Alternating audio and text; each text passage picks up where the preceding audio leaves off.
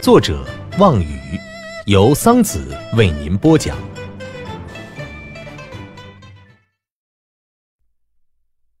咱们接着讲《凡人修仙传》第一千零八十五集。轰隆隆的一阵巨响啊！一片红色的霞光从魔兽前肢中一卷而出，然后一凝，化作了一只赤红色的巨爪，冲着前方光幕狠狠的一抓而下。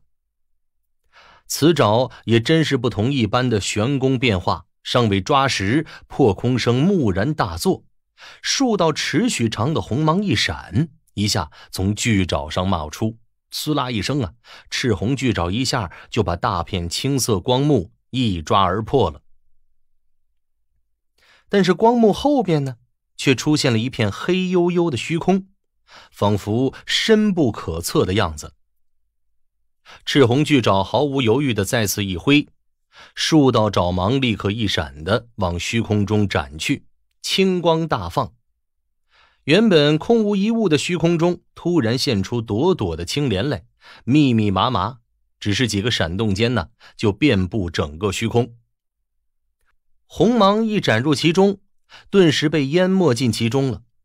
巨雏一见此景，脸上一惊，但马上法诀一催，顿时那只赤红巨爪体积一下狂长数倍，随即一声嗡鸣之下，一下爆裂开来。一轮红灿灿的光晕浮现出来，并发出雷鸣般巨响的狂散而开，瞬间的功夫化为了十余丈之巨。附近青莲一接触此光晕呐，竟纷纷的化为一股股青烟，消失的无影无踪了。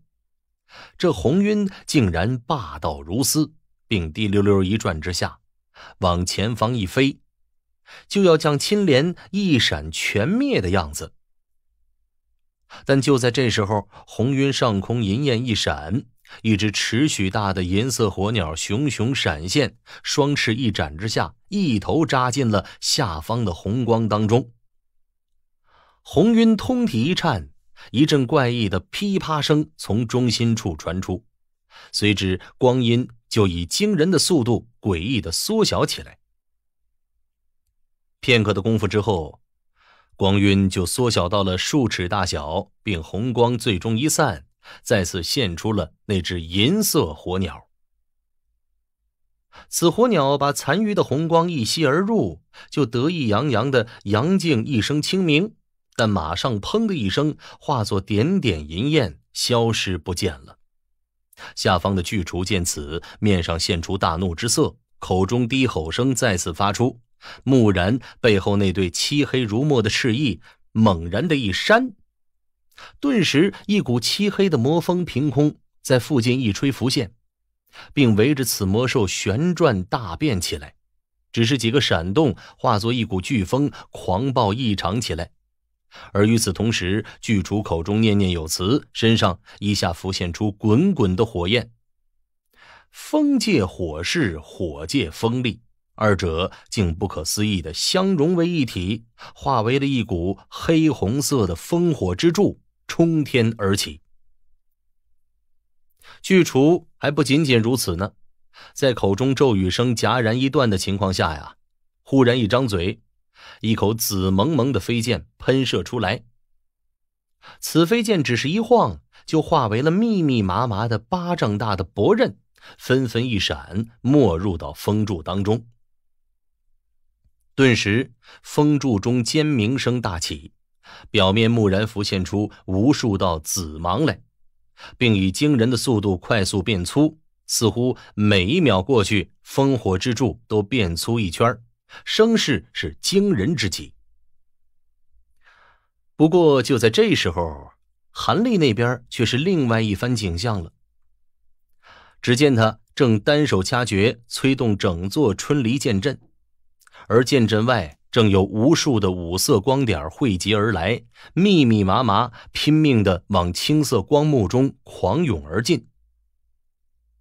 附近天空中天地元气所化五色之光呢，正是遍布整个天空，一眼望不到尽头。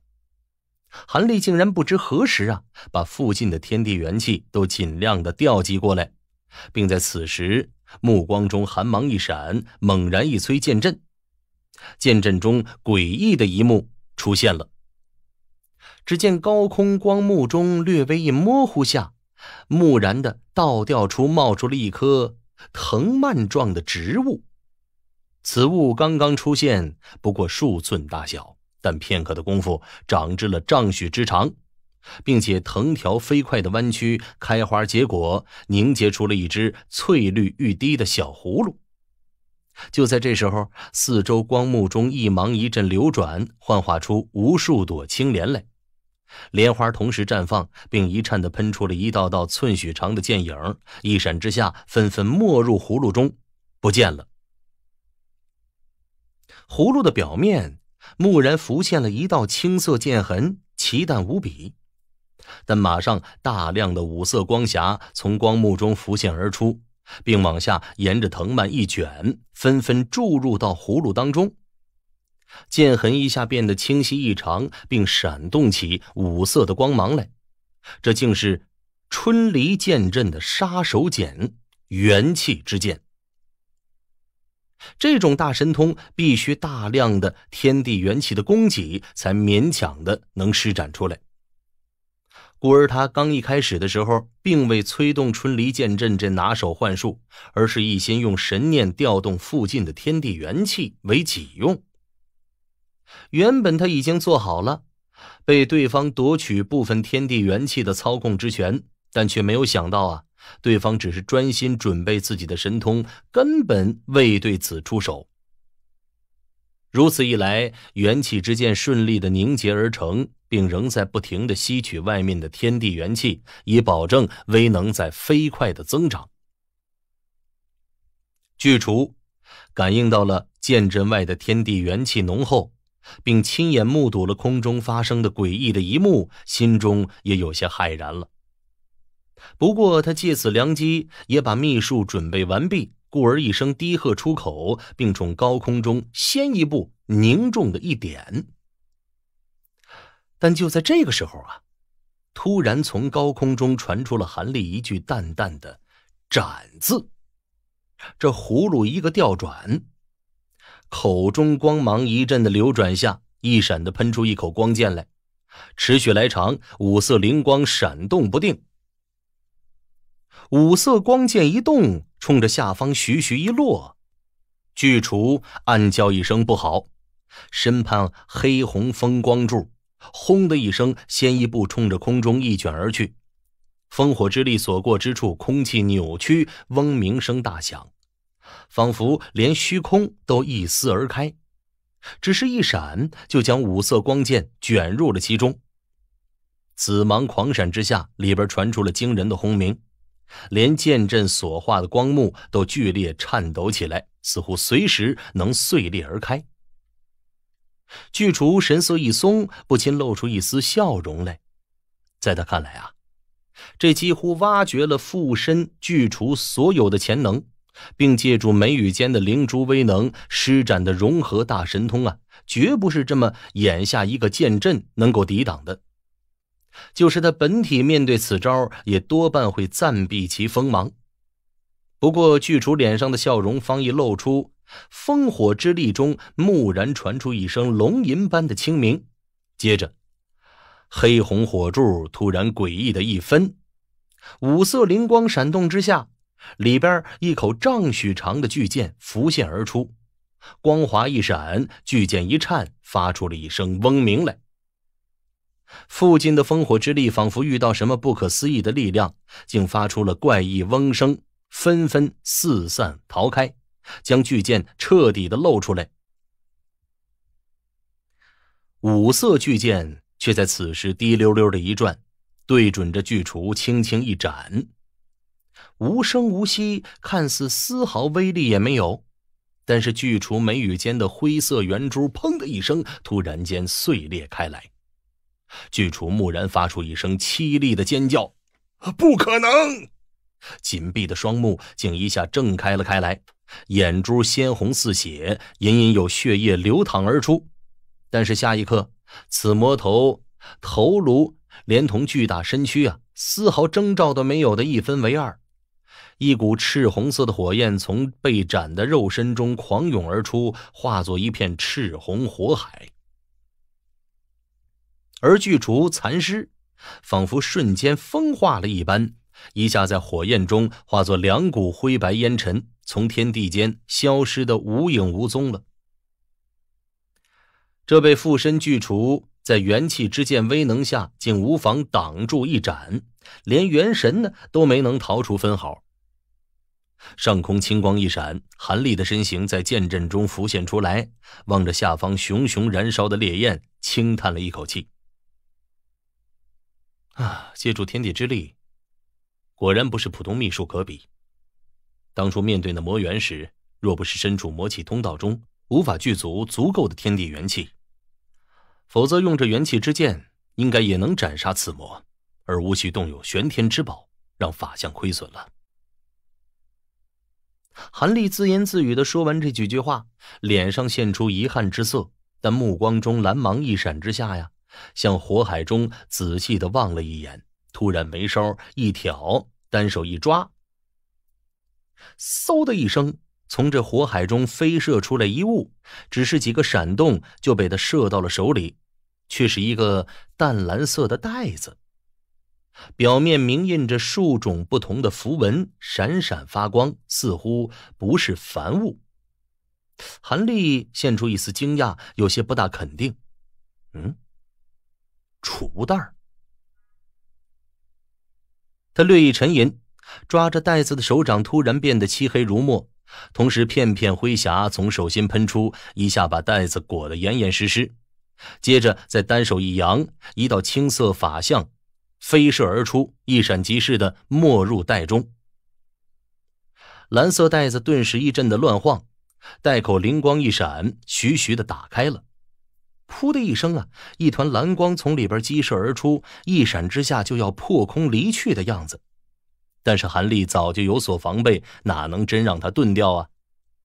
只见他一声冷哼，灰色霞光猛然一掌的反卷过去，一下把那蓝色光照照在了其中。灰霞蓝芒一阵交织之下，顿时光团现出了原形来，竟是一颗晶莹剔透。蓝光蒙蒙的圆珠，拇指大小，表面一芒流转，仿佛琉璃之物。韩立的神念往上边一扫，有些意外了。这是内丹？不对，但好像也不是法器。韩立抬手把圆珠吸了过来，用两根手指一夹，放到眼前看了一遍，却一时无法确定它来历的样子。嗯，算了，以后再仔细研究一下。现在先尽快离开此地再说吧。韩立稍微一思量，单手一翻转，取出个玉盒，把珠子放入其中。然后他望了望下方的赤红火焰，神色为之一动。也不见他有任何异常举动。空中的青色光幕啊，蓦然间银光一闪，噬灵火鸟一冲而出，一头扎进了火海之中。熊熊火焰瞬间功夫被噬灵火鸟一吸而尽，随后他欢喜的扬静一声清明，双翅一展的冲向了韩立，没入其身躯之中。而韩立两手一掐诀，漫天青色光幕一敛，现出了漫天青莲来。而这些青色莲花微微一转，重新幻化作七十二口青色小剑。韩立身形一动。化为了一道青蒙蒙的金红，在空中一阵飞舞，众飞剑顿时被一收而空。随后，遁光丝毫不停，直奔天边激射遁走，只是几个闪动，消失的无影无踪了。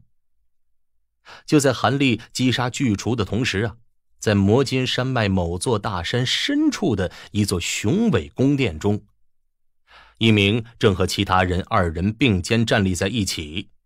游望着不远处一座乌黑大门的青袍男子，突然脸色一变，神色变得难看异常。旁边一个血袍人一见男子的样子，开口问了一句：“怎么，铁兄有什么事吗？”“没什么，我的一个继父化身被毁了。青袍男子倒没有隐瞒之意，缓缓的说道：“什么？”另外一个浑身银光闪闪、面容儒雅的老者，目光闪过一芒的问道：“继父化身，就是铁兄用魔骨珠炼制的那具化身吗？” 独眼兄倒是对铁某的神通了解甚多呀。青袍男子似乎对老者并不怎么顺眼，嘿嘿一笑的回答：“今天呢，就讲到这里。”下一集中，桑子将继续为您播讲《凡人修仙传》。